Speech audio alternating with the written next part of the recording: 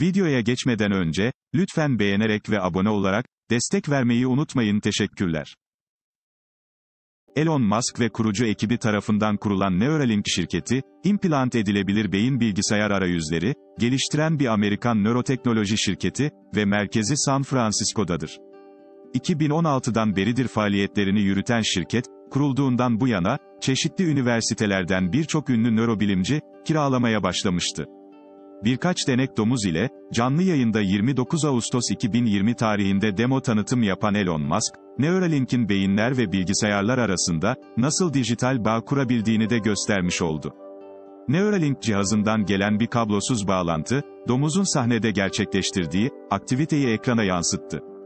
Musk, ayrıca daha kompakt olan ve bir kafatasındaki delikten oyulmuş, küçük bir boşluğa sığan ikinci nesil cihazı da gösterdi ve cihaz hakkında kafatasında küçük elektrotlarla kaplı, bir Fitbit gibi, ifadesini kullandı. Beyin hücresine nüfuz eden 1024 ince elektrot ile, beyin hücreleriyle iletişim kurulduktan sonra, harici bir bilgi işlem cihazına, Bluetooth bağlantısı gönderiliyor, ancak şirket başka radyo teknolojilerine bakıyor olsa da, veri bağlantılarının sayısını önemli ölçüde artırabilir. Domuz gösterisi, sinirsel aktivitenin bir bilgisayara kablosuz olarak yayınlandığını gösterse de, Neuralink'in bir beyne yararlı bir şekilde, geri iletişim kuran bir bilgisayar veya sinirsel aktivitenin, ani artışlarının gerçekte ne anlama geldiğini, anlayan bir bilgisayar gibi uzun vadeli hedeflerinden, hiçbirini açıklamadı. Musk son olarak şunları da aktardı, insanların uzuvlarıyla ne yapmak istediklerini hissedebiliyorsanız, omurilik hasarının meydana geldiği yerde, ikinci bir implant yapabilir ve bir nöral devre oluşturabilirsiniz. Uzun vadede, engelli bir insanın tüm vücut hareketini, geri kazanmasının mümkün olacağına inanıyorum. Elon Musk, şirketi Neuralink'in yıllardır üzerinde çalıştığı, beyin implantını tanıtarak bu teknolojinin hafıza kaybından, depresyona ve görme engeline kadar çeşitli nörolojik sorunları ve omurga yaralanmalarını çözebileceğini söyledi. Çip ayrıca beyne doğrudan, müzik yayını yapmak ya da klavyeye dokunmadan, düşünceyle yazı yazabilmeyi sağlama gibi, amaçlarla kullanılabileceği daha önce açıklanmıştı. Son dönemdeki araştırmalar, bir kişinin beynindeki nöronların okunabildiğini göstermiş olsa da, mevcut teknoloji sınırlı ve külfetliydi.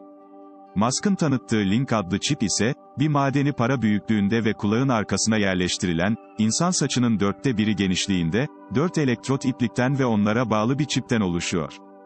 Tanıtımında, söz konusu çipin bir akıllı saatten beklenebilecek, tüm özelliklere sahip olduğunu söyleyen Musk, çipin endüktif olarak şarj edildiği bilgisini paylaştı.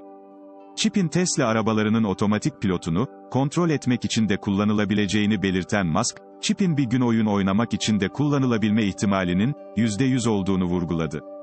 Musk, çipin ayakta tedavi prosedürü ile bağlanabileceğini, ancak elektrotları beynin içindeki kan damarlarına, çarpmayacak kadar hassas bir şekilde yerleştirebilecek, harika bir robota gerek olduğunu dile getirdi. Implantın çalışma prensibi, Musk'un sunumunda çipin takıldığı domuzlar, üzerinden tanıtıldı. Çip, Amerika Gıda ve İlaç İdaresi'nden, çığır açan cihaz ünvanını almış olsa da, henüz insan üzerinde denemelere başlanmadı. Tanıtımın bu kısmında, implant takılan ancak daha sonra çıkarılan bir domuz yer alıyor. Bu, çipin güvenli bir şekilde çıkarılabileceğini gösteriyor. Musk, geriye kalan en büyük sorunlardan birinin, korozyonu önlemek olduğunu, böylece çipin 10 yıllarca kullanılabileceğini söyledi.